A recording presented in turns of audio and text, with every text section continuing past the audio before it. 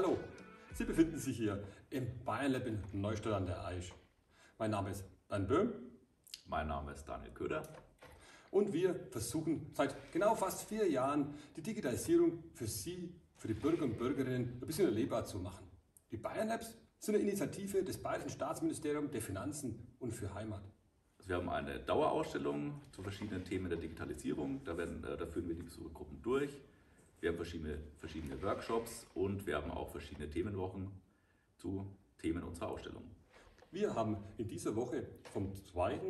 November bis zum 5. November unsere Themenwoche Robotik und die Programmierung. Eigentlich draufgekommen sind wir, damit das Thema ist immer wichtiger, auch im Schulunterricht. Wir besuchen viele Schulklassen zu dem Thema, aber auch unsere Besucher und die Familien ist natürlich ein ganz spannendes Thema. Und Glück hatte ich da, dass ich mit meinem Kollegen Christian Schweigert hier jemand habe, der wohl sein Steckenpferd ist, der sich da viel Gedanken drum gemacht hat. Und dann haben wir die Woche eigentlich so organisieren können, wie es jetzt ist.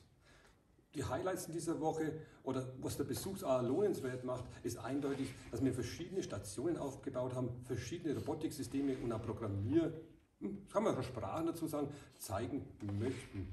Angefangen von, was viele vielleicht kennen aus dem Schulunterricht, den Lego Mindstorms und Lego Spy Crime Sätzen, wo auch Robotikmeisterschaften schon mit abgeschlossen werden oder ähnliches, aber auch, dass wir unseren Kollegen Nao hier haben, der wo so fröhlich quietscht neben mir oder natürlich auch für die Grundschüler oder für die Beginner die Otzobots oder ähnliches. Eindeutig ist der Vortrag vom Herrn Dr. Bender ein Highlight, weil für uns ist ganz wichtig gewesen, dass wir nicht nur die Robotik natürlich für auf Kinder und Jugendliche beschränken, sondern die Robotik zieht und die KI zieht überall bei unseren Lebensbereichen ein und da hat der Herr Dr. Bender natürlich im Augenblick auch mit seinen aktuellen Techniken vieles zu berichten und wir freuen uns schon ganz arg auf den Vortrag.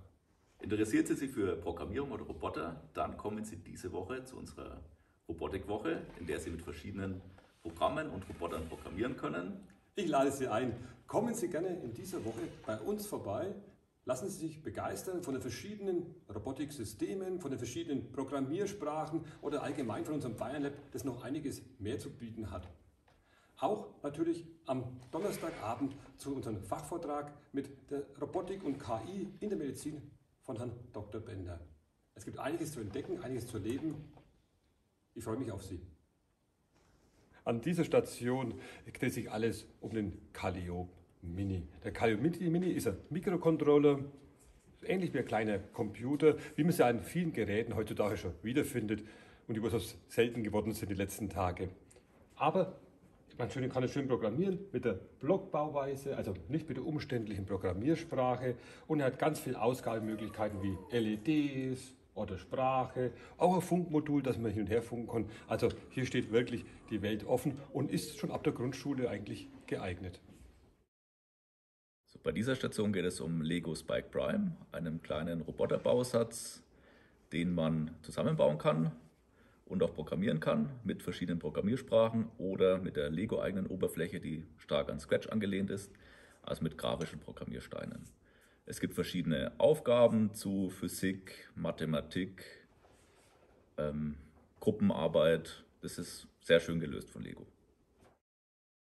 Also an der Station hier stellen wir unseren Now vor, der ist sozusagen ein bisschen das Maskottchen der Bayern Labs und möglicherweise für einige der einzige richtige Roboter, den wir hier haben, ähm, bedeutet, er ist unser einziger humanoider Roboter, der aussieht wie ein Mensch, sich auch ein bisschen so verhält ähm, und je nachdem, wie gut man ihn eben programmiert, dem Menschen ähnlicher wirkt als die anderen Roboter, die wir hier haben.